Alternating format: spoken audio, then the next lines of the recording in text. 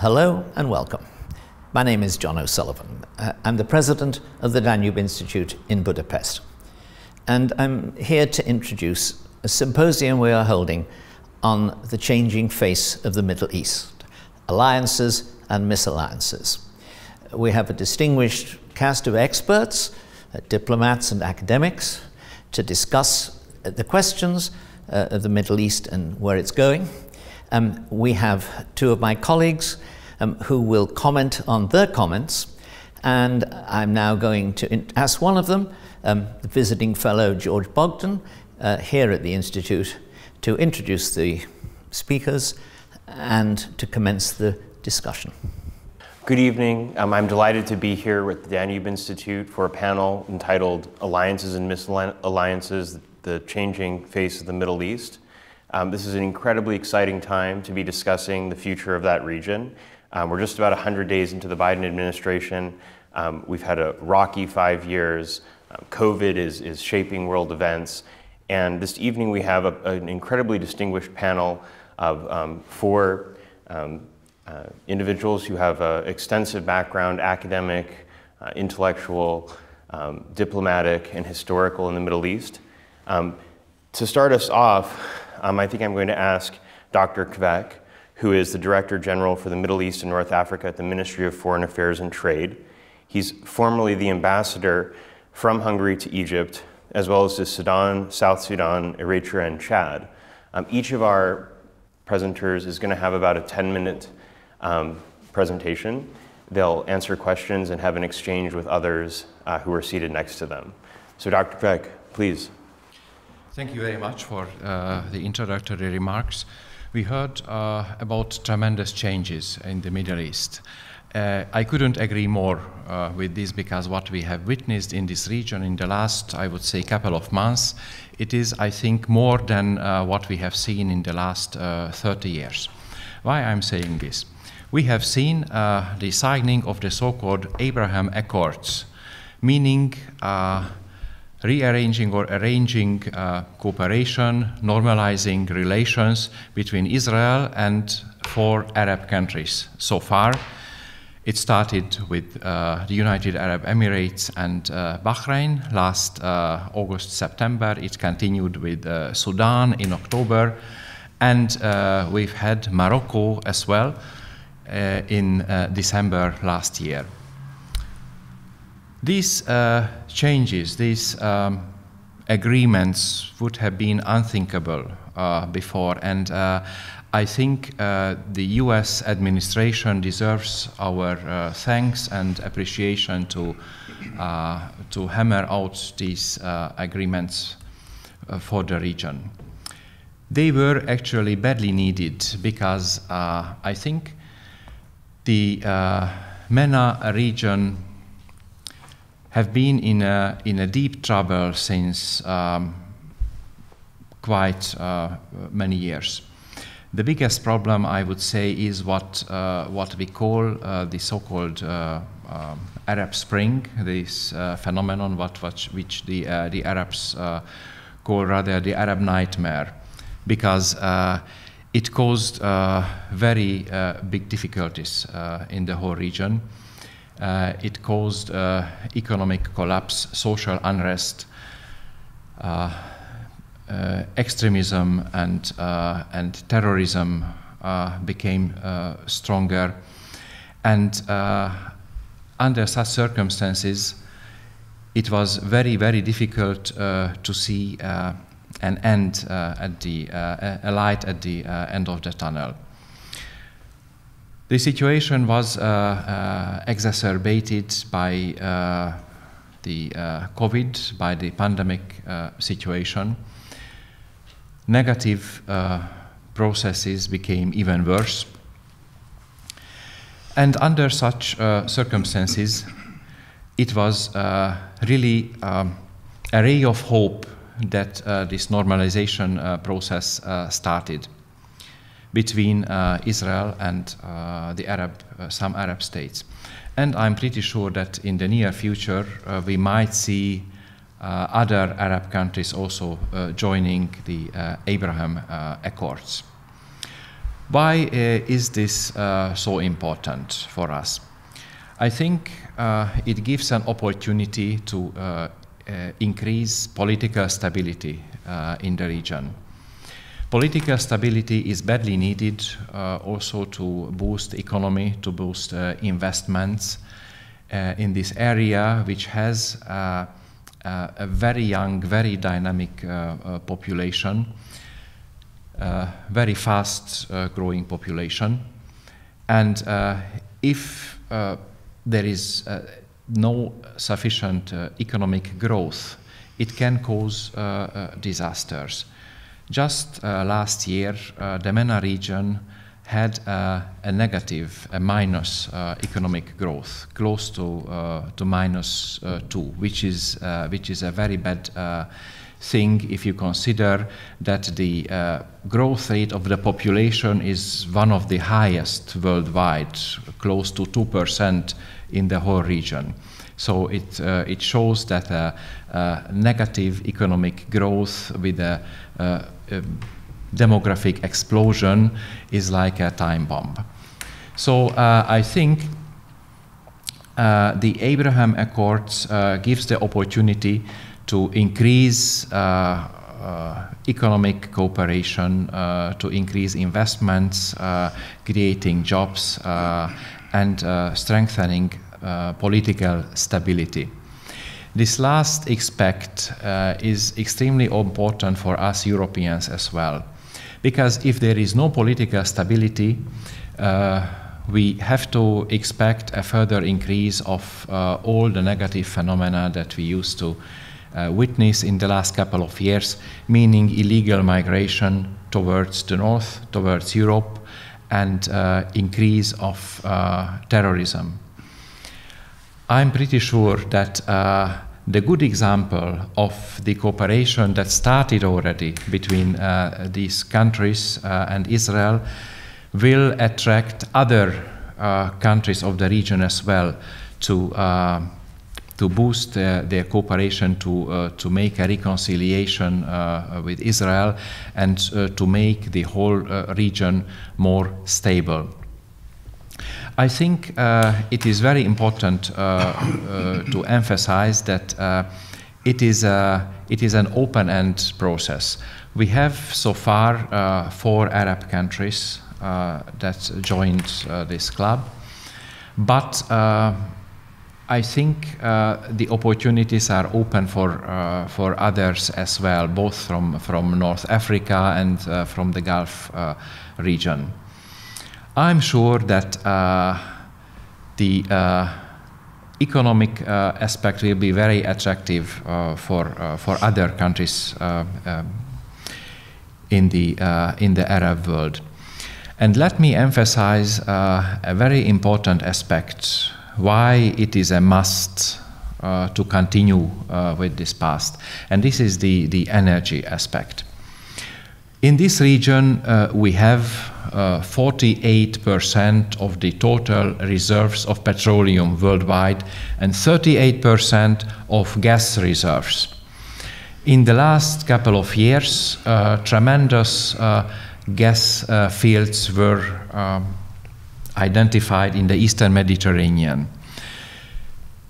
Without uh, making a reconciliation, a kind of cooperation, none of the countries of the region will be able to market and to explore the gas and to enjoy its uh, economic benefits. We have the uh, EastMed gas pipeline uh, uh, incoming. We have the East Mediterranean Gas Forum, uniting uh, Israel, uh, Egypt, Greece, other countries, which is, which is uh, something that would have been unthinkable a couple of years ago. So I'm pretty convinced that, that the energy aspect, the EastMed uh, gas uh, fields and the gas pipeline will be a catalyst for uh, reconciliation and for boosting cooperation in, um, in this region. And I'm, I'm looking forward to seeing further progress to the benefit of, the, of the MENA region and Europe and for the whole world. Thank you. Because we're hoping that the panel will be a, a bit conversational, I'd like to offer the opportunity for the other panelists to respond in brief um, before their other presentations. So I would like to reflect on two different topics. First of all, the actual challenges related to the MENA region. And secondly, later on during the discussion, also I would like to summarize my views on the Israeli-Palestinian conflict and overcoming of this. So I try to determine first the most important and persistent challenges uh, to consider which can influence the current MENA political vacuum.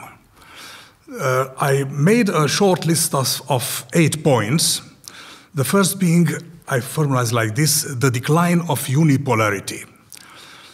Uh, the result of the ongoing global transition from uh, USA unipolarity to a bipolar US China, or maybe multipolar, including maybe Russia, uh, will include growing challenges to the existing international system.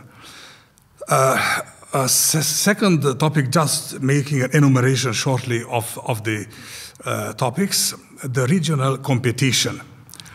Middle Eastern powers are and will continue to be engaged to intense competition for influence in third countries, including crisis area like, areas like, uh, like uh, uh Syria, Lebanon, Yemen, Libya, and also some other African countries the blocs, the political blocks that have sought to compete include the Iran-led, Iran-led radical Shiite coalition, the Turkey-Qatar Islamist-oriented alliance, and the United Arab Emirates, Saudi Arabia's the status quo axis. And we, we can also mention the uncertain outcome of uh, the bilateral agreements between some Sunni Arab countries and Israel, as it was mentioned before. And also the Abraham Declaration focused uh, uh, also against Iran. A third topic, which is very important to be connected to, to this discussion, is the ideological volatility.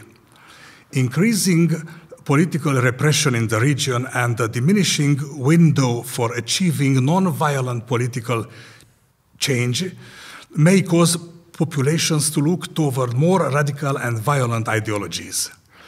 Uh, we cannot exclude the possibility that some other form of radical Islam or even some uh, other ideologies altogether, different radical ideological current will rise. A next topic uh, could be considered the proliferation of dangerous technologies. The unraveling of arms control agreements increases the risk of nuclear proliferation, but after this, uh, the largely unregulated uh, proliferation of precision guided munitions has enabled the emergence of strategic non nuclear threats in the, in the region. The next topic I mean, which you cannot miss, is the growing demographic pressure. His Excellency Ambassador Kveck also mentioned this is not the case to enter into details. Uh, the, the title of the point expresses itself. Anyhow, the relatively high rate of fertility, increase in youth unemployment, and uh, children out of school, it's terribly dangerous challenges. Uh, next topic could be the societal and economic prospects. There are no indications that provide reason to expect a significant improvement in the fundamental social economic problems of the Middle East that contributed to the political unrest in 2010 and onward. Uh, there remains a serious relative lack of human capital the public faith in government institutions continues to decline, uh, and uh, the internal economic, social, and political reforms throughout the region are undercut by entrenched elites uh, uh and ingrained practices. And also belonging to this topic, we, we, we, we cannot omit to, to mention the lack of economic regional integration. The next challenge, which is typical for the whole region, is the environmental problem. Uh, we could discuss largely on desertification, on, on uh, uh scarcity, uh, water scarcity, uh, water in a water poor region, food shortages linked to this, the desertification, the possible new and new refugee crisis, and possibly make some areas in the Arab Gulf un uninhabitable uh, in the coming decades. Finally, the last topic, which is interesting to mention as a separate uh, issue, is the rapid technological change. Advances in technologies such as artificial intelligence will allow for deeper incursions by authoritarian regimes into the private life of citizens. This is the digital authoritarianism and will result in more unmanned or even autonomous system on future battlefields. So summarizing all this shortly, uh, we, we, we, have to reflect also on the USA's possible role in, in, the, in the region.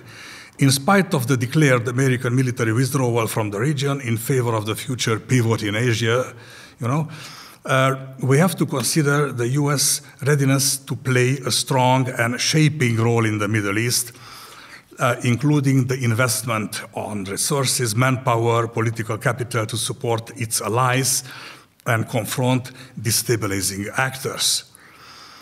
Uh, the variable is strongly correlated with the future of competition between the great powers, rivalry among regional powers, counterterrorism, nuclear proliferation, uh, uh, the, the, the role of Russia and, and China maneuvers,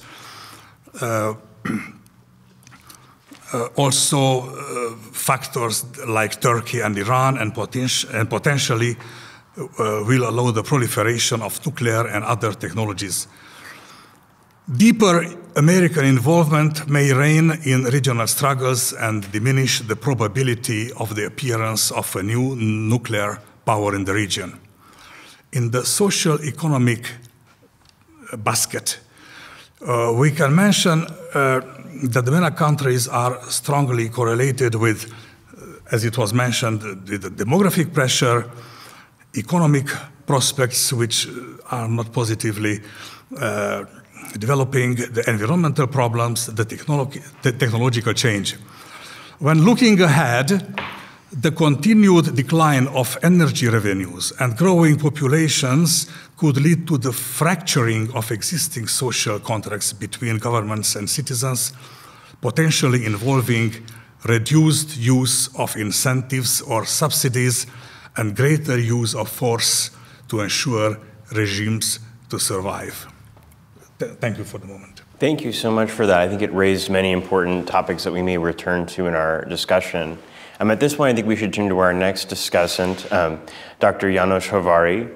Um, he's the head of the Representation Office of the Cooperation Council of Turkic-speaking uh, states in Budapest, as well as a professor of the Institute of History of the Gaspar Károli University of the Reformed Church. And I think you'll have quite a bit of, of interesting input about Turkey's role in the Middle East, and so I'm looking forward, of course, to hearing about that. No, so that we should talk about Turkey, but so our task at this moment, talking on the United States uh, Middle East policy, as uh, Ambassador Kveck mentioned, there are the huge changes, and I'm trying to find the reasons why the United States had to restructure the the Middle East policy that the constructor and uh, architect of the uh, United States uh, Middle East policy in the 1970s is Henry Kissinger, that whose name is uh, well known, and uh, and I had to say that the Kissinger policy and vision on the Middle East failed. And by the way, so it is a time to revise the points of Henry Kissinger, because he's a man who, who could, with his policy, China to be great, the he opened the gates for China, and uh, that the China could be the challenger of the United States of America. But uh, Kissinger was an architect of the, and the American policy was an architect uh, of the Begin Sadat uh, uh, Camp David meeting, and it started uh, the dream that the Arabs and the Israelis could have a, a new kind of new relations, and there were American incentives, American money, support uh, uh, for all the countries, and uh, but behind the behind the lines, they were the Cold War conflict. The Cold War ended, and the fall of Berlin forward, and it started a new policy. And uh, as in Eastern Central Europe, in other places, that uh, that uh, the American policy that uh, tried to form a new world, and uh, it was valid uh, related to the Middle East, and even the Soviets in the last minute they tried to be the players, and and in this in this situation, uh, started the Madrid Middle East peace process in uh, 1991, and with the support of the United Nations, it was the last great cooperation within the Soviet Union and, uh, and the United States of America, and uh, they tried to make impose peace in the, in the Israeli-Palestinian conflict, and, and they, it was, was a promising what was going on. But there were some players that who was not interested to have a success in Madrid. One who was not interested in it is Yitzhak Rabin. Yitzhak Rabin was the, at the time opposition and came into power for the Israeli Labor Party, and he, he, he refused as an imposed uh, peace, and he started to have negotiations with the former enemy, Yasser Arafat. And Yasser Arafat was not interested in the moderate success because he was not invited. The Palestinians, the, the, the PLO, that the Palestinian Liberation Organization, lost uh, its position in the Palestinian territories during the Intifada. That the Palestinians was able to make a new kind of civilian society, and uh, Arafat was interested. He wanted to make a special deal with Yitzhak, uh, Yitzhak Rabin. That for making it, he needed a honest broker. It was Bill Clinton and American Democrats had a dream, the great dream. That's it is more serious dream what Kissinger ever in his life had, the making a nice world in the Middle East and to make a compromise peace agreement with the Palestinians and the Israelis. Of course, Yitzhak Rabin was committed to it, and, uh, and Arafat made tricks, and uh, they, they had a lot of advantages for this process. But to making it, that to have results, it was necessary to have the Norwegian Foreign Ministry, the Norwegian diplomats, Terje Rød-Larsen, who later became a Deputy Director General of the United Nations. He was a, was a good diplomat, good negotiator uh, with his wife Mona uh, who is uh, the ambassador of uh, Norway to Israel. And they were working, that, that they are matching that's the, the, the Palestinians, Israel's different branches, uh, and, uh, and everything stopped when when uh, Yitzhak Rabin was murdered, and uh, because Rabin was a strong, strong Israeli politician who could make peace with the Palestinians, and he had a credibility in the uh, Israeli society.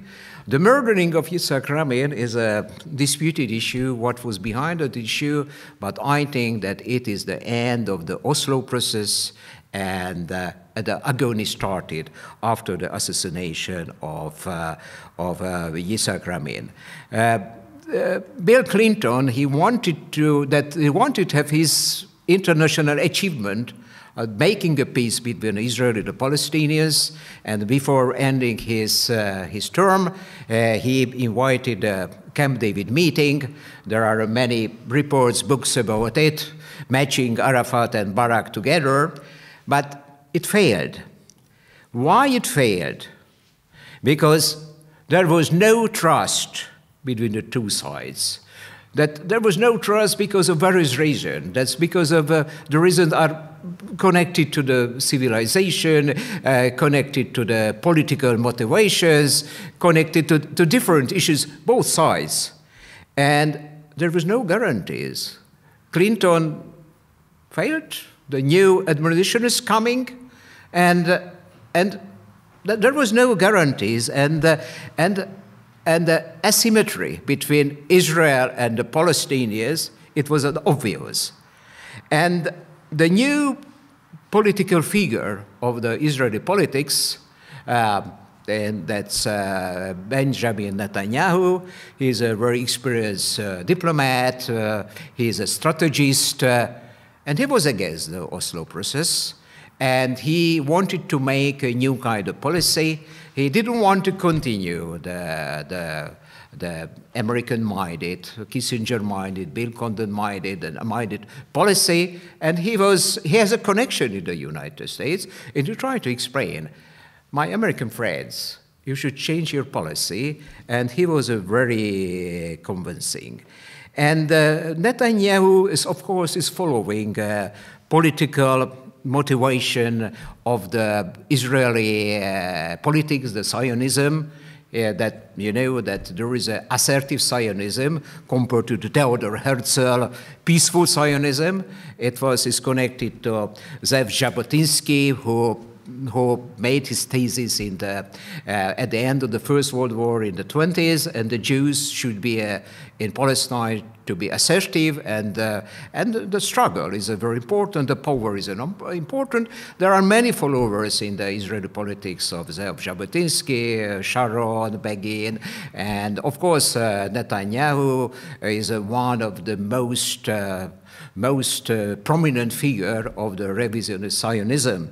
And, uh, and uh, the United States of America could see the Arab Spring when the MENA region started to change, the whole American policy and during the Arab Spring failed.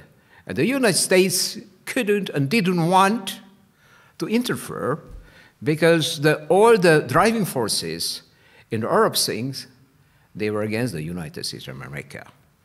And uh, what the, what the United States could, could, could do in the, in the Middle East to be a policeman.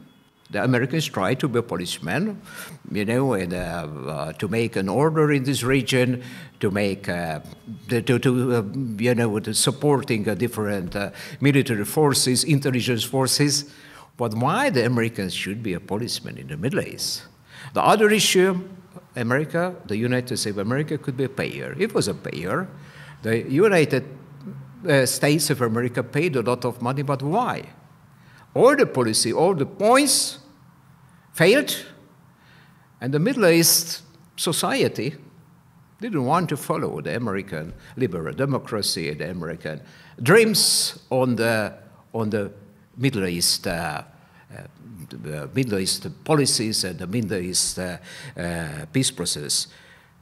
But the other countries in the region, beside Israel, they were very important, the United States of America.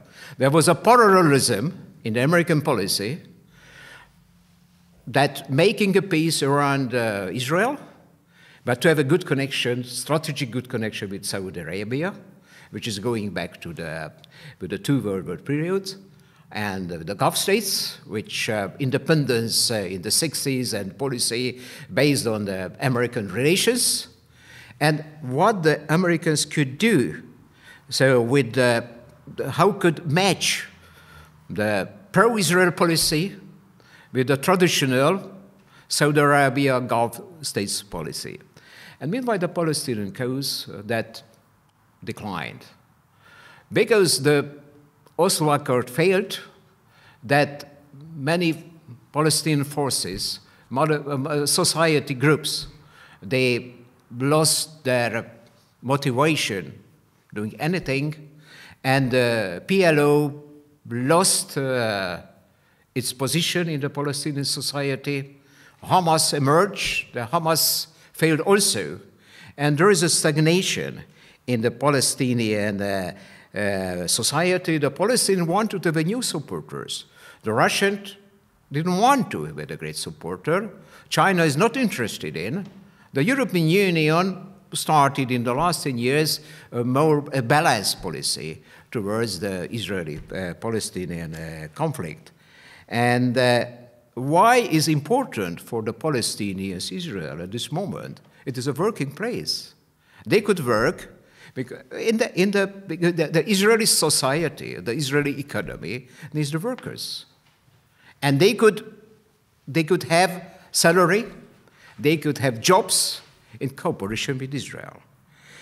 Now, the future, nobody knows.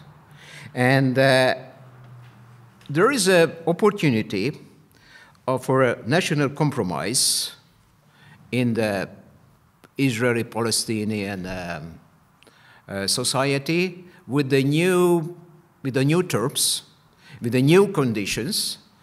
I, I think that both sides should find something, sit down, and to have a, a certain peaceful coexistence and uh, the certain which is the tradition in the Middle East, you know, to, to, to freeze the problems and to deal with the actual pragmatic issues, the life, salary, and other issues. It was my uh, summary on the situation, and uh, it is clear that the United States uh, couldn't be, it is not an American interest, to be a policeman of the Middle East, to be a payer of the Middle East.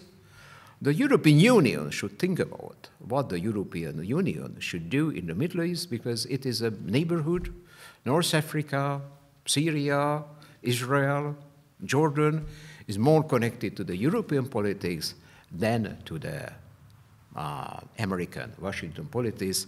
Thank you very much for your attention.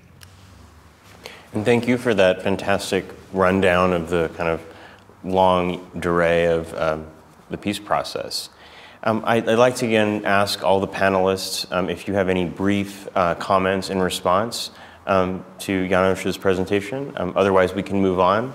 Um, but I just thought I'd ask uh, now if there were any, any short remarks. Some short remarks. Okay, please go ahead. Related to the Palestinian issue. So, in general terms, it's, it's well known that since uh, uh, George Bush Sr., all American presidents were very committed and openly interested and uh, contributed enormously to deal with this problem and also to tackle the, to resolve uh, the conflict. It was not successful as, as we could uh, follow uh, the magnificent historical overview of, of Janos Hóvári. Anyhow, in spite of so much effort, and, and uh, since Madrid, Oslo, Camp David, having also the roadmap, the diplomatic quartet, uh, with the Palestinian request to make the, uh, the conflict resolution guaranteed and internationally overviewed the Israeli reaction uh, to avoid and to reject any foreign involvement. Uh, the mutual reference to, to terrorism uh, uh, and, and the unsuccess of the whole process. Nowadays, we have a kind of cold peace without agreement and even not having negotiations at all. Uh, I try to put an accent to the following issue. There is no effective pressure actually on Israel to stop the policy of unilaterally imposed measures. Israel bears quite well with international critics eventually. Uh, there is no intifada, and the occupation has created a kind of security imposed by force called self defense. Anyhow, uh, in, in an asymmetric conflict. Keeping under military control the current situation means absolute Israeli advantage in terms of time passing. A comprehensive peace agreement even would not restrict, uh, uh, would only restrict and limitate uh, uh, Israel's policy. Israel does not need, I mean, any binding final peace agreements. I say this also in a provocative uh, uh, accent, probably we, we could have a discussion on, on this topic. Uh, if Israel is not under real pressure, the Palestinian Authority is under strong Israeli pressure to accept the American Kushner plan, rejected immediately by President Abbas. Uh, it means that the, the, the, Palestinian rights to have their own state is not substitute to economic investments, development, jobs, uh, financial assistance, and, and things which could uh, take the place of, of, of, of their uh, own sovereign state. Uh, uh, the government, in the perspective of the Israeli government, the, two, the two-state solution as a whole is an outward idea. It has become not a political strategy or plan, it, it, it is it is ideologically dividing the society. The right national religious wing in Israel thinks in further annexion, continuing the occupation. Uh, uh, the left is more focused on uh, peaceful coexistence uh, with the Palestinians, but as you know, in the last four recent elections in Israel, they did not won uh, more than 5%, 5 6% in the elections, together with their allies. Meantime, uh, about 1 million Jews live in Judea, Samaria, uh, 400,000 or half million uh, from this 1 million altogether, half of them are uh, around big Jerusalem. And since 25 years, practically rightist government are uh, governing Israel, demonizing absolutely the Palestinian Authority, mixing intentionally the Palestinian Authority with Hamas on terrorism claims. Uh, we, we, we, cannot avoid also to mention that Israel considers any kind of critic in, in any sense as direct anti Semitism. Uh, the Palestinian administration, paid by foreign aid donors, run not more than 40% of Cisjordania. Gaza is under blockade. Total is under security control, isolation, security walls, drones, restrictions, protected settlements, uh, exclusive infrastructure and access roads. Uh, and and it, is openly uh, made public as a position that even if there were some negotiations, it has become impossible practically to have an independent uh, uh, Palestinian state in that part of the world. As it was mentioned several times, recently a part of Sunni Arab world seems to be reconciled with establishing pragmatic bilateral diplomatic relations and even a kind of security cooperation with Israel, first of all against Iran. This is a new appreciation of necessity overshadowing the Arab League's traditional approach focused on Palestinian suffering uh, and not recognizing Israel. Was this a treason of the Palestinian cause or overture of a new peaceful era? Is to be seen. And also is to be seen uh, this, how the changes and the consequences uh, with the new uh, American uh, administration will develop on. Anyhow, not to forget also that there is no one word about Palestine, Palestinian rights, and the two state solution, having it or rejecting it, even not mentioned in the Abraham Declaration. Uh, in this part of the world, from Palestinian side, the USA is not anymore a credible neutral mediator. Let's see the Jerusalem as capital issue, the embassy's location. Uh, also, some American representatives representing the American foreign policy and, and the commitment of any kind of president to resolve in a way or other the, the, the, problem were not objective, neutral arbitrators. Let's think on Ambassador David Friedman or, or Jason Greenblatt or, or Jared Kushner. Uh, it, it, it's, it's, it's, it's uh, without any doubt that, that they were absolutely committed and unconditionally supporting the, the, uh, the Israeli narrative. Uh, it was mentioned the, the, the, involvement of the European Union or the lack of involvement of the Union. Uh, to be frank, the EU as an economic giant and, and political elfin at the same time restricts itself on distance critics on Israeli unilateral measures, disbursing the running cost of the Palestinian Authority, and condemning the Hamas terrorism, which are, are correct from moral point of view, but it means a, a, a, a rejection of direct involvement in the middle of the, of the topic. Uh, shortly, one sentence more on the present day losing game. I just would like to, to recall your kind attention uh, on the impact of the next Palestinian legislative elections to be held on May 22nd this year. The last election uh, were held in 2006. Since then, no. Uh, uh, and in the, the last election then in 2006, as you know, uh, ended with the devitalizing Hamas victory. Prime Minister Mohammed Shtayyeh said recently that they can even delay or cancel again these elections if Israel does not make possible to hold the vote also in Jerusalem. This is the topic. Uh, the whole issue is full with symbolic, sensitive, uh, historical related uh, aspects. Uh, the Palestinian Prime Minister says that uh, to allow the Palestinians living in East Jerusalem to, to vote, to take part in the elections, is not a favor, but a condition fixed in previous agreements. Uh, it's very important. Today, uh, we are 28 Wednesday. Tomorrow, Thursday, 29.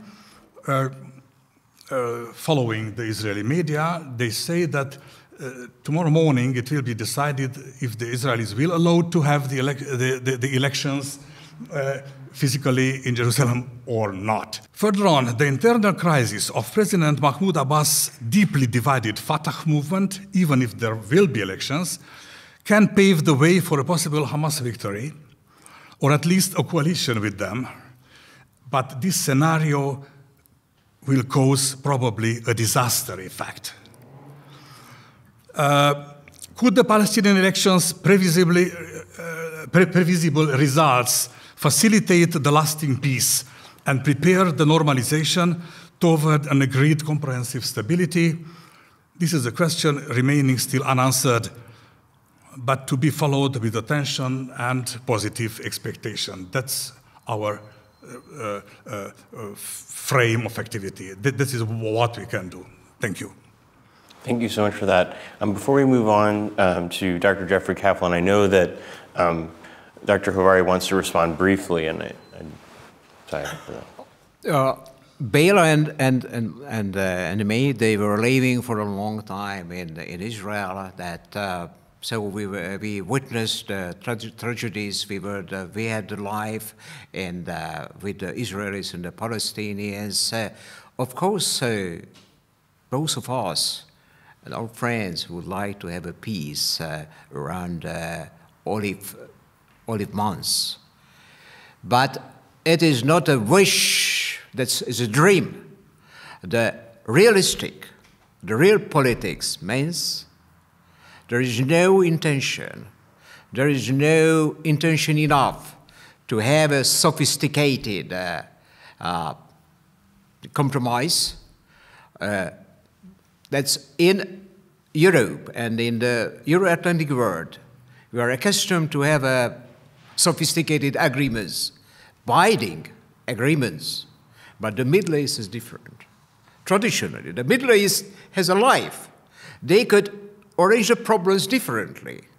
And the Western American approach, making a sophisticated binding peace accord in this region failed. But these people who are living in the different side of the Jordan, who are living in, in this region, they have a tradition having a certain pragmatic rational coexistence. I remember that there was a, uh, there, there was a curfew, but there was a connection uh, uh, across the border. And actually, there is a coexistence. And I remember from Israeli Palestinian friends, before the Intifada in the 70s, the Palestinians could go to Judea and Samaria or the West Bank, and they have a they want to they, they, they prefer the Palestinian restaurants, and uh, Palestinians were coming working to Netanya and, and uh, Tel Aviv and other places. I think there is a chance that there is a time to return to that kind of pragmatic coexistence, and uh, it is an illusion to waiting for a sophisticated bilateral or impulse please, because Israel is not interested in. Israel is strong, the Palestinian is weak. It could change after a few decades 20, 30, 40 years. But actually, it is the, the peace uh, uh, between the Palestinians and the Israelis. Unfortunately, it is a dream. Thank you very much. Well, thank you as well. Oh, yes, please. So, if I can uh, add a few remarks on what we uh, what we have first, uh, first of all uh, on the uh, Palestinian and Israeli um, issue, I think first of all. Um, the Hungarian diplomacy uh, doesn't believe that uh, putting uh, sovereign states under pressure would be a good idea. I'm, I'm pretty convinced that, that um, what we witnessed in the last um, couple of decades uh, concerning uh, how the uh, West was was uh, uh, dealing with uh, Israel was was not a not a good good approach. It didn't lead anywhere. We saw a different method by the previous U.S. administration, and suddenly we have four Arab states having a reconciliation, normalization uh, with Israel. I think this is, this is the right track, this is, this is the right way. On the other hand, uh, I'm convinced that uh, there are some, some rules that, uh, that uh, all sides uh, should accept. It's very easy to define. These are basically the, the principles of the Middle East Quartet. Uh, meaning uh, renounce violence, recognize Israel's right to existence, and so on and so forth. I think uh, we are living in a different era now after the uh, Abraham Accords uh, have been concluded. Times changed. we have witnessed new methods of international relations in the Middle East, and I think we should we should progress in this way and it will uh, bring us to a new, uh, new era in the, uh, in the MENA region as well. My second remark is uh, to what uh, uh, Ambassador Jungbert mentioned concerning um, the dangers of political Islam in the region. I think nowadays it is a little bit underestimated in the West. I served as um, Hungary's ambassador in Egypt from uh, 28 to uh, 2020. And I have seen there uh, the uh, so called Arab Spring. I saw there uh, two revolutions. I saw the true face of uh, political Islam in power between 2012 and 2013. I can tell you that this region is in a danger indeed of uh, being controlled by forces of uh, political Islam. What happened in Egypt in uh, 2013, it was like a small miracle that uh, a civil uprising that was uh, later on supported by the army managed to stop basically fascistic regime. We cannot uh, find better words to describe what uh, the Muslim Brotherhood established uh, uh, in Egypt. But this scenario, uh, what we saw there, could repeat itself in other parts of the region as well very easily, especially if we don't have reconciliation, if we have economic crisis, uh, and so on.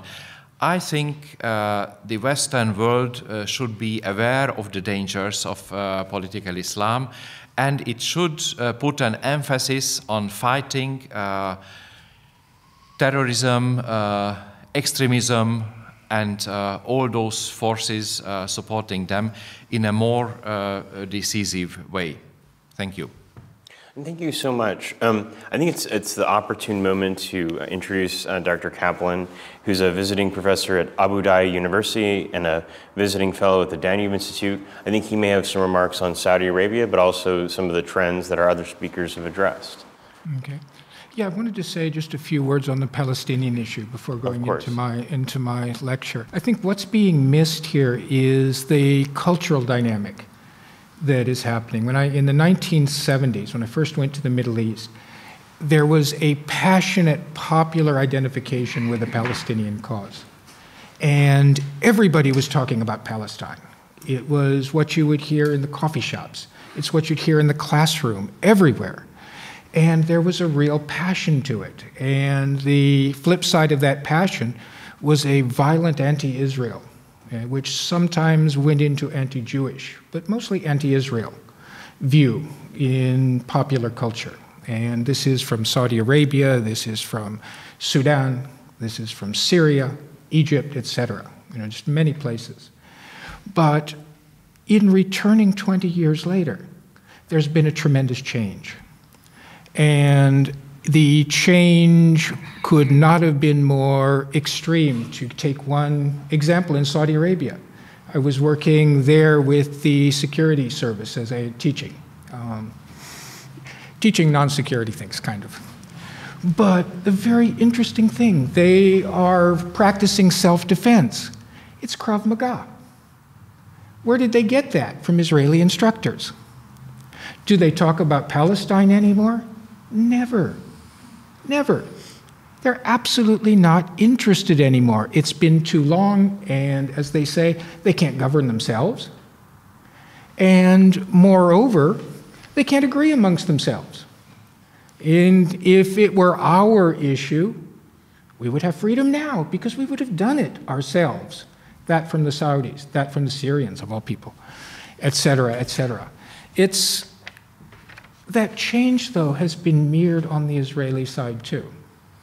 In Israel, when the settlements first began after 67 with Kiryat Arba and Rabbi Levinger, the Israeli settlers were seen by the Israeli people as this kind of Wild West show. They had absolutely no social connections, no communication with the West Bank. Going back today, it's be the idea of the settlements has not only become accepted, they become, they've become part of Israeli policy. The left now accepts them. So the dynamic is eh, the, the dynamic of change over the last 25 years is tremendous. I was in Hebron, Al Khalil, during Intifada 1. And the hope that was all part of that violence was tremendous went back 10 years later, 12 years later. And the fury is no longer so much at the Israelis because that's, that's taken for granted. You can't drive from point A to point B without three roadblocks. So it's reduced the pa Palestine to a, a quasi state, a quasi settlement. But more than that, the real fury was at the Palestinian Authority because of the corruption. There's a hopelessness there. And as much as we talk about overarching diplomatic settlements and peace initiatives, I think you have to address it at that level first. Because without that, there is no peace. Simple take. This is actually a very emotional, in a way, a very personal kind of presentation because I was in Saudi Arabia in its most conservative phase from 1979 to 84. And then again under Mohammed bin Salman just a few years ago during the uh, modernization campaign. And so a lot of what I want to show you is both historical and personal. Saudi Arabia became independent in 1932, and it granted oil rights to the Southern California Oil Company. It never, they never did anything there because of World War II. But the joke in Saudi Arabia at the time is we will deal with the Americans and not the British because the Americans pay for what they steal and the British don't. So from then on, the policy, not only in oil, but their foreign policy became very American centered. The balance of economic power changed with the 1973 war and the oil embargo. The picture is classic because that is the, the lines at the oil at the oil pumps at the time. When the war began, gasoline in where I lived in America was 29.9 cents a gallon. Overnight, it became a dollar if you could find it. The oil, power, the, the oil weapon proved to be greater in the long run than the weapons of the battlefield. During the Nixon Kissinger era, we created the twin pillar policy, which was a, our recipe, our being the United States recipe for Gulf security. The twin pillars were Saudi Arabia, with their population of 10 million, of which half are women and thus not involved in those years, and the others are too young. So it was a weak pillar on that end, and so we saw the strength of this in the Shah of Iran. That didn't work out so well either with 1979, the Iranian Revolution changed absolutely everything, everything in the Middle East. But the echo in Saudi Arabia was powerful. It completely unrelated at the time, political Islam. The Juhayman uh, messianic or millenarian attack on the Mecca Mosque this was a shock for the security forces because they found they couldn't do anything about it. They had to get Western help, although they needed a fatwa to allow Western soldiers to set foot on the holy grounds because it was forbidden for kafir, for non Muslims to be there. Exception. While that was going on, though, I was living in Dammam and got to see this the uprising, the Shiite uprising in East Province. The Shiites just happened to be living on all the oil in East Province, and they have never been accepted in the Saudi state, then or now. So integration doesn't happen, and so what you get instead is repression, and Shiite activism became Shiite radicalism, very much Iranian sponsored. In 1979, they declared that they were going to secede from Saudi Arabia, take the oil with them, and join into a coalition with Iran.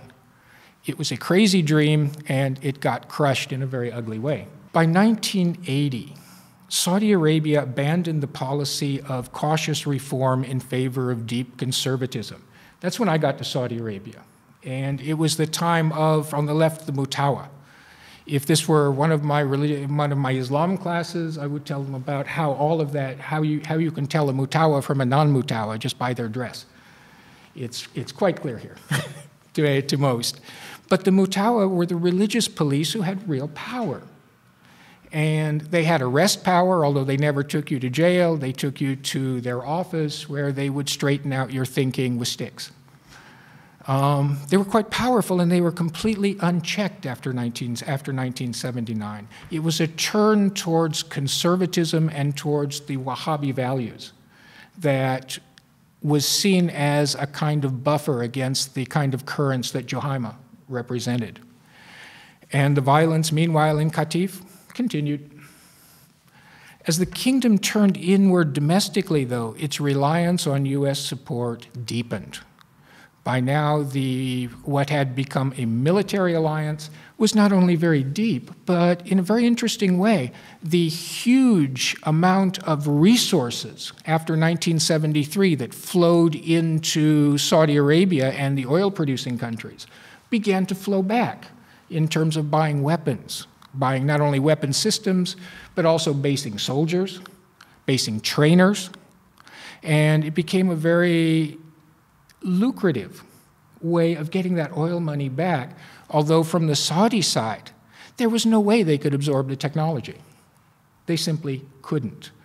And so it was not only American trainers, but the Americans were operating the systems as well, which had a very negative effect on the Saudi security structure.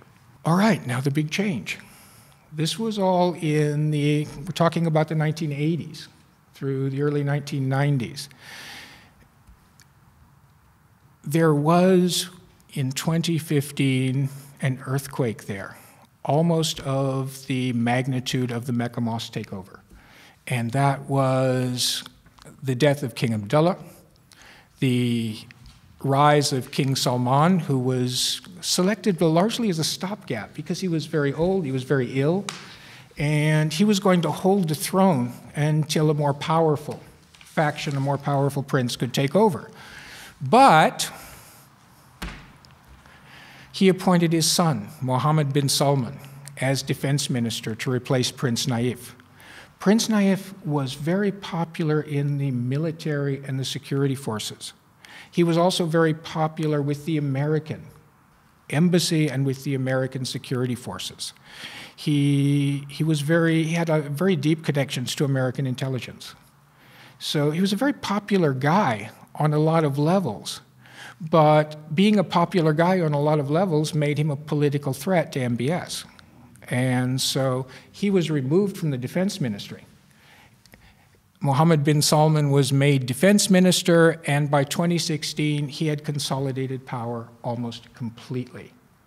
The first thing he did as defense minister was launch an attack on Houthi rebels in Yemen, which was a disaster from beginning to end, and it's a disaster today. What interests me as a historian about him is he's very much on the model of the strong men on horseback that we saw in the 1920s, 1930s people like, like Ataturk, people like Reza Shah.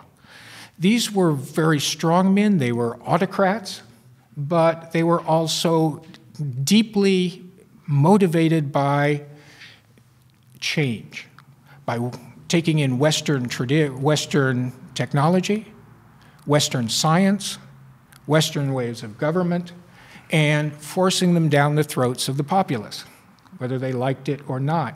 They were going to drag them into the 20th century, sometimes kicking and screaming. And they were very successful at it. So to me, MBS, I think in his own mind's eye, and in many ways it's very true, he sees himself as part of this tradition of strongman reformers. The reforms were many and very popular among younger Saudis. And this is something I can't stress enough in talking to the young people there and in teaching them he is idolized by the young. And he's idolized by the young security, security guys, the junior soldiers, the guys who are coming up, and the guys in the intelligence service who are in 20s or 30 years old. He is not idolized by the older. And there is a lot of talk in those circles that he is moving way too fast on way too many fronts, and there is going to be a reaction coming out of the villages, coming out of the towns, and coming out of the desert. So we'll see about that, but the two reforms are interesting there. On the left, he, this is exactly the time that I returned to Saudi Arabia. So I was watching all this happen with shock and amazement. The Mutawa were pulled off the streets. They were stripped of their power, and now the Mutawa is basically an old man's club and they sit around playing backgammon or praying or doing whatever it is they do in their headquarters. It was, it was always a way for older guys who had no real fit in the modern economy to draw a salary and get some power and authority. Now they just draw a salary. On the right is the thing that actually shook me to the core, which is women were now being allowed to drive in very limited ways. I mean, and all the time I was there, I saw about three driving, and the men on the road were going like that. But the, the, the cartoon is very telling in a way, because how do you control, as a cop, as a traffic officer, female drivers? You can't take off the hijab, you can't look under the veil, so to speak, and you can't do anything with them. You can't touch them. You can't, you shouldn't even be talking to them. So there was a big thing we are going to get female officers to be traffic officers. But they can't drive. so it's, you know, as with many reforms, there, you know, there's, there are good ideas and then the devil is in the details. Right. But like the strongmen of the 1920s, MBS brooks no dissent. And the arrest of a number of members of the royal family on charges of corruption, which are not terribly untrue, and holding them in this hotel. If we had time for the video, I would show you this hotel. Oh my God. We were, I was talking to my wife there. I wish they'd arrest us and put us in this hotel. It's a five star luxury hotel with a bowling alley, with everything you could imagine, but they don't want to be there. And to get out, they had to pay in exorbitant sums of money or exorbitant amounts of property. So it was popular to a degree for a while. And then you talk to guy, you talk to people in the street, or you talk to security guys that I was working with, and they say, you know, hey, this, what does this really mean? And that's when the questions started to be asked, and that's when a lot of them started to be released. At the same time, MBS was coming to power with a determination not to play the game as every other Saudi leader had since King Abdulaziz. An American leader has come to power who also was equally determined not to play the game by the old rules and they got along famously. They were very close, Saudi American relations were very close in the Trump administration on an economic level, on a military level, and on a security level. In 2018, the murder of journalist Jamal Khashoggi should have been or could have been a turning point in US Saudi relations. It was not.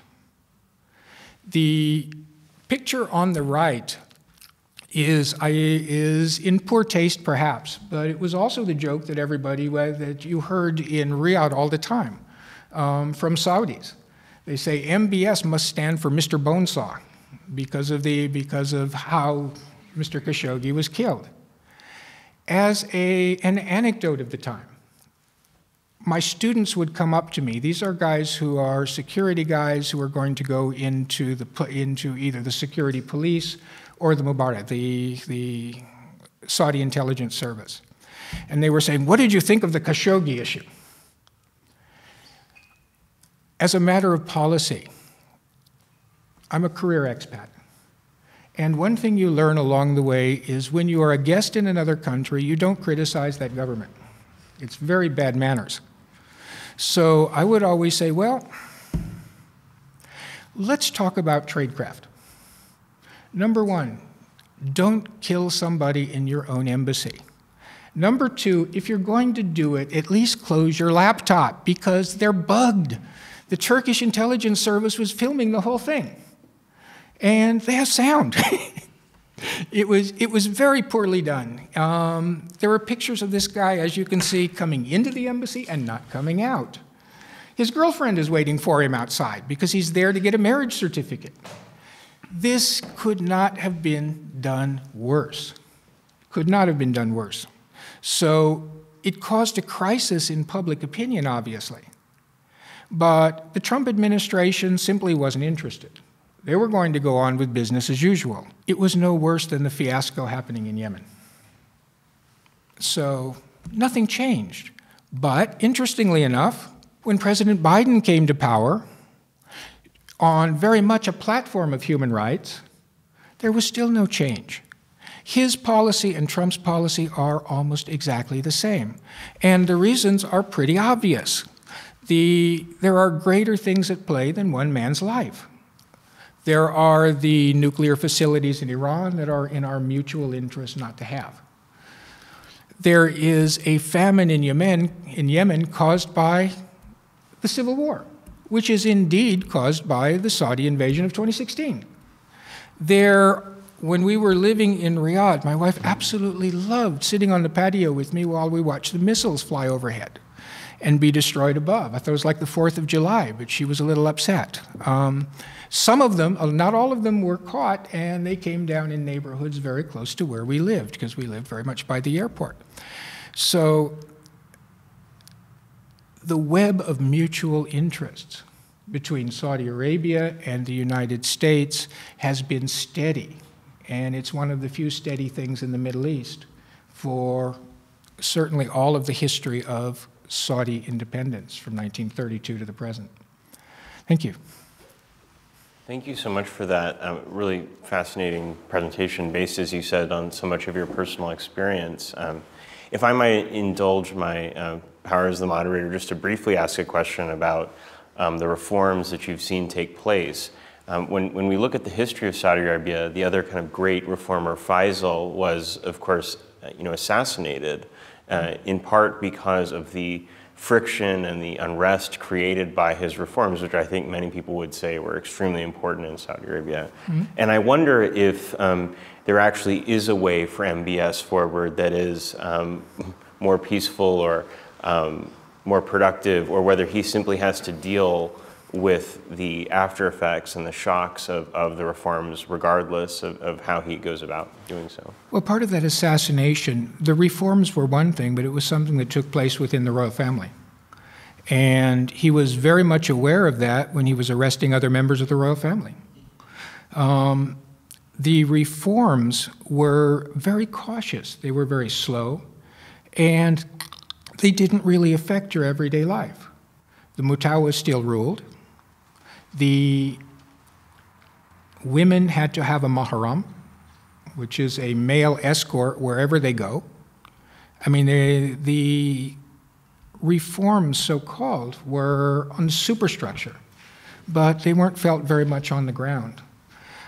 MBS is, if I were to look into the future, which historians should never do, I think he will succeed.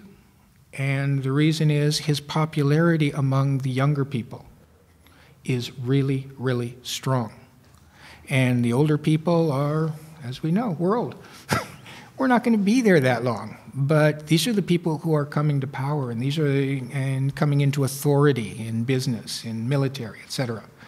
And these are the guys that are going to be the basis of his rule women are also starting to become a factor, and they idealize him because of the reforms.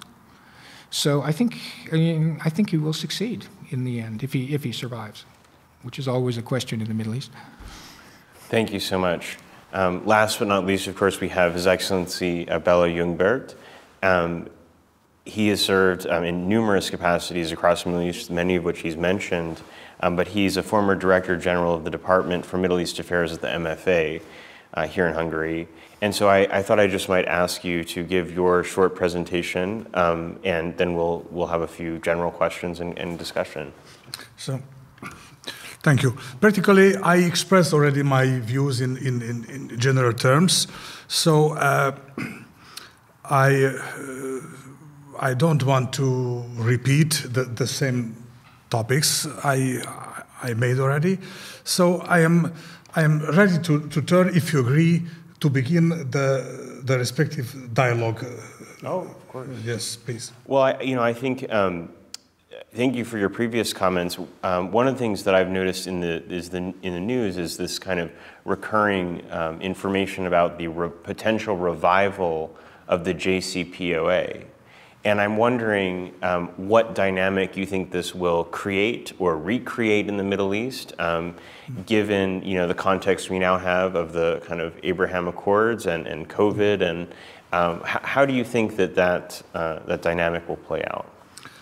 I would say uh, uh, there is a need to make a clear uh, view, clear approach uh, how the Israelis and how the Palestinians uh, think uh, to go forward uh, with living together with the conflict or to have a kind of, of settlement of, of this.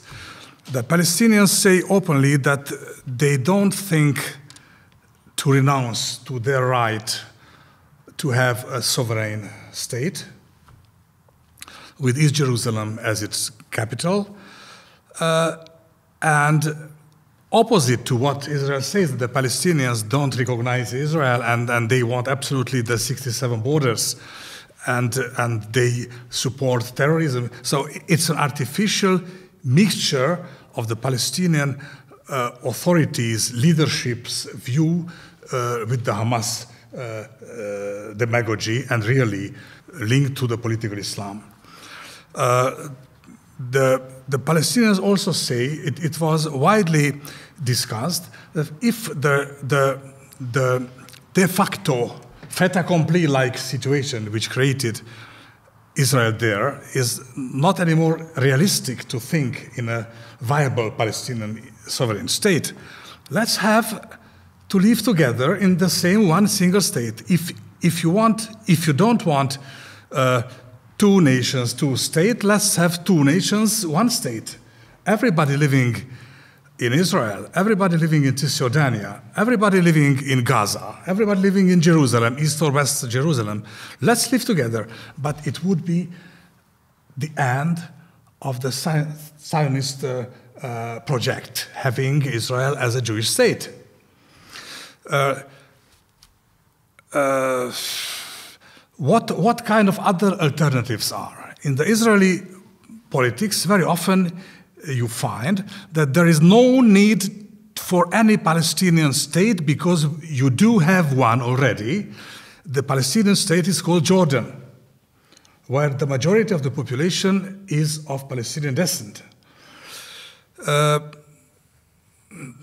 not to enter into too much details, uh, Jordan will never accept this they want, they are uh, even now linked to the two state solution.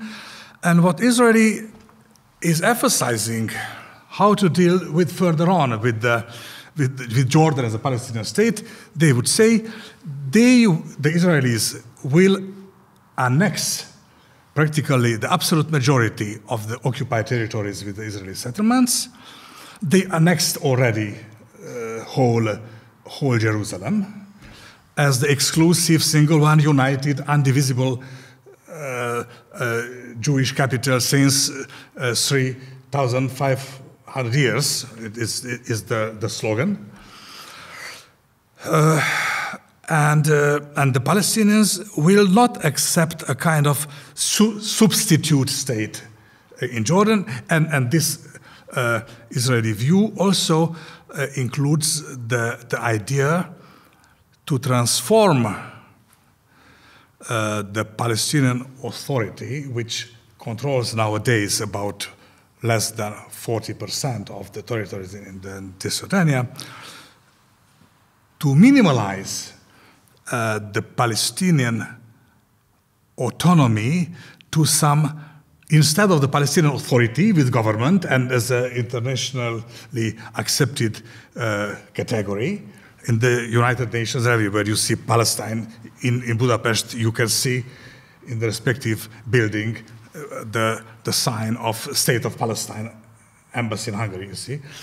Uh, uh, the Israelis suggest, after the annexation of the whole Jordan Valley, after the annexation of the uh, absolute majority of the settlements created uh, legal, legally and illegally, because you have about 130 uh, Israeli Jewish settlements in, in Judea and, and Shomron in Samaria, which Israel considers as, as, from Israeli point of view, and in Israeli jurisdiction, legally created, supported by the state. But you have at least 100 other settlements which are considered illegal even by the Israeli authorities uh, without having got any kind of uh, uh, permission or, or uh, uh,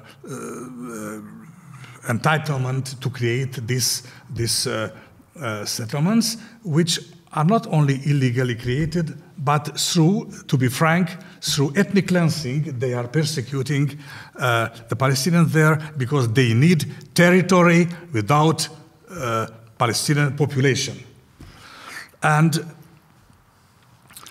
and if you envisage this kind of future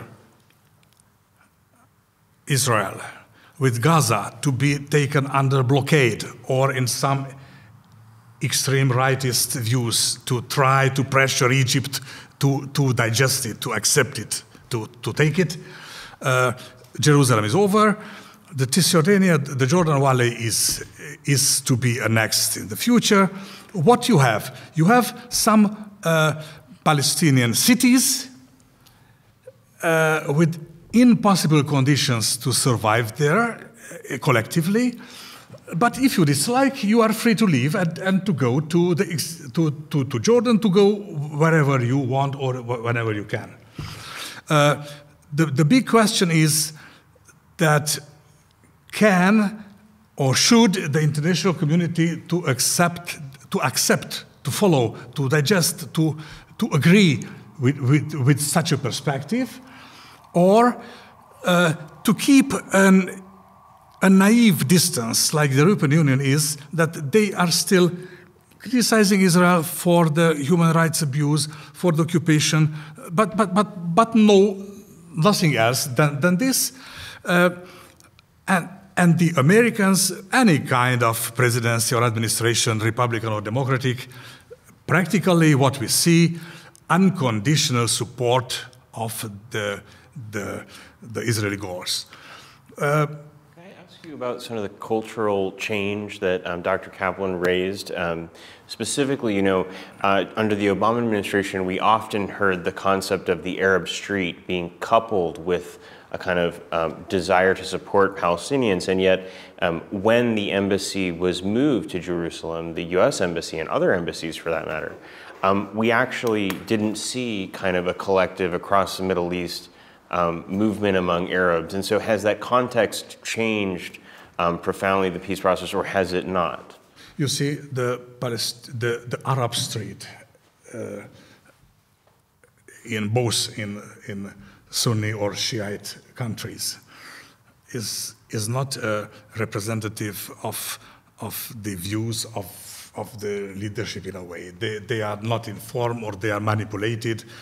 Uh, but anyhow, uh, the Arab League and officially on, on head of states level and governmental level, uh, the Arab countries, even those who signed the bilateral uh, agreements, and even those who are parts of the Abraham uh, Declaration, did not renounce to the Palestinian cause and did not express their view on not being committed anymore to the two state solution.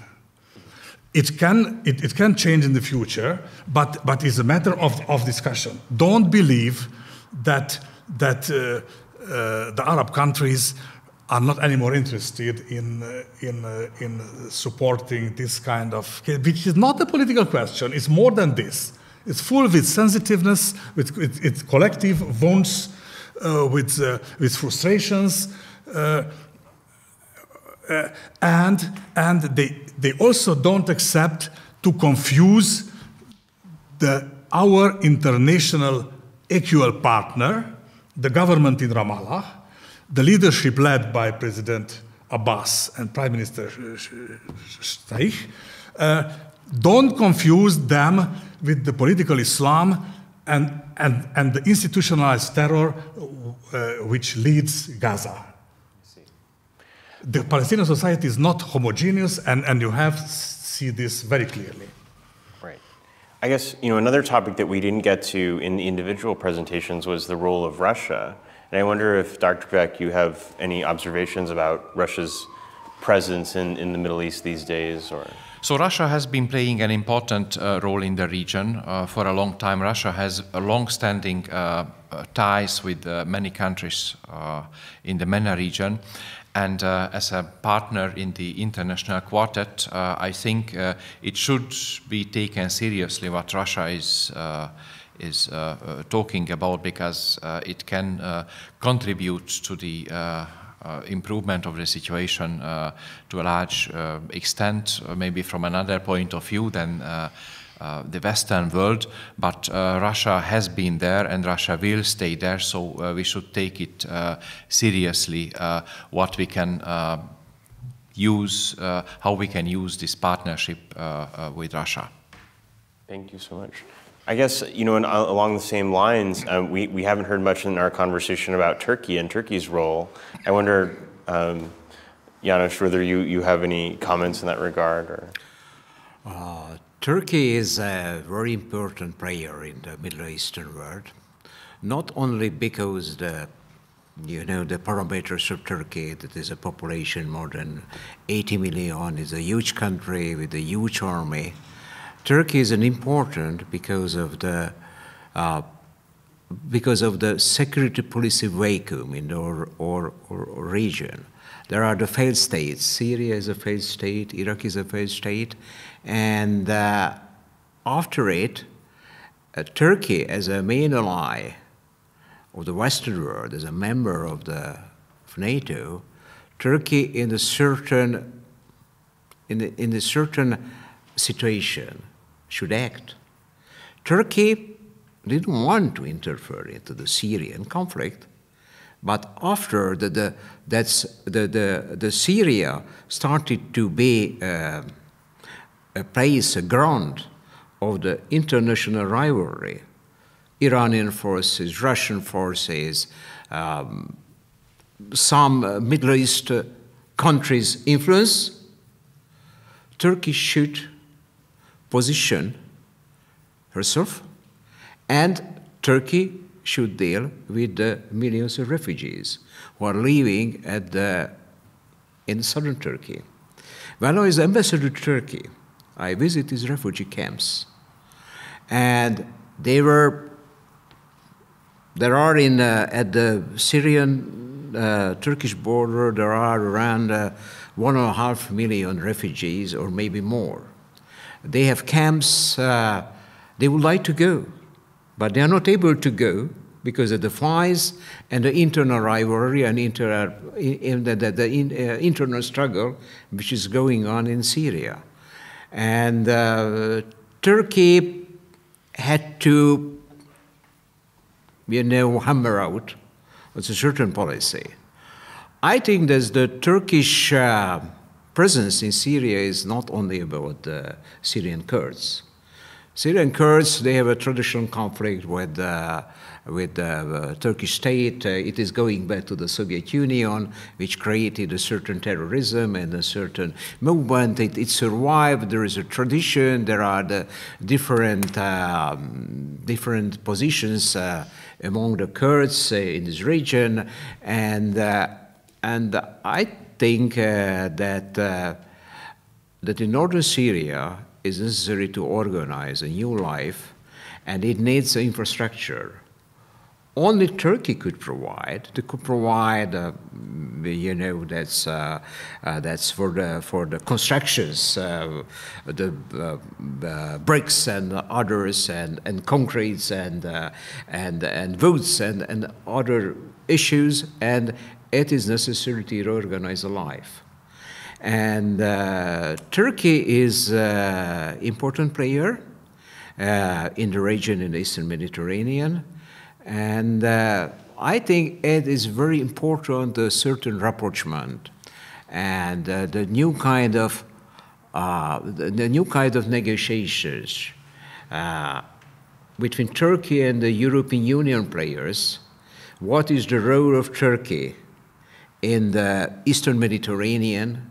That uh, the new terms related to the custom unions between the European Union and Turkey and this is necessary to have an open-minded dialogue with the back condition between Washington and Ankara. And uh, I hope they could see it. And uh, there was a telephone conversation uh, last week between President Biden and President Erdogan, and they will see each other at the, at the NATO summit. But it is, there are the new conditions. So we are that's, a, that's the time of the real politics came. That is not, that is no time for illusion after the COVID and with the, very adventure-minded forces in the Middle East, and, and not only Middle East, in, in other parts of the world. It is, uh, I think so we need a certain, uh, certain wise decisions uh, and we should turn towards the pragmatism, not to blame each other. We could blame each other. All the politicians could blame each other because of various issues. There are different perceptions of human rights. There are the different perception of the economic policies. There are the different perception of COVID. There are the different perception of the role of China in the, in the future world, the role of the United States of America, the role of the uh, European Union, but the negotiation, as a diplomacy, is a very important. The politicians should sit down, and we are the preconditions, and they, uh, they should be wise and uh, making our words better. It is the mutual interest, and Turkey is a partner in it. And uh, that uh, the Turkish uh, foreign minister is a very realistic man and, uh, and the advisor of uh, President Erdogan. They are a very wise person, as in the great experts are in the United States related to Turkey and many countries. And uh, um, I, am, I am confident that we will have a better and nicer future. Fantastic. Well, I think we're running a bit low on time. I want to thank all of our panelists again and thank the Danube Institute, of course, for hosting this, this fantastic event. Um, uh, of course, all of our viewers, thank you for joining us. Um, this has been a real pleasure. It only remains to me to add my thanks uh, to the people who participated in important and instructive discussion. Goodbye.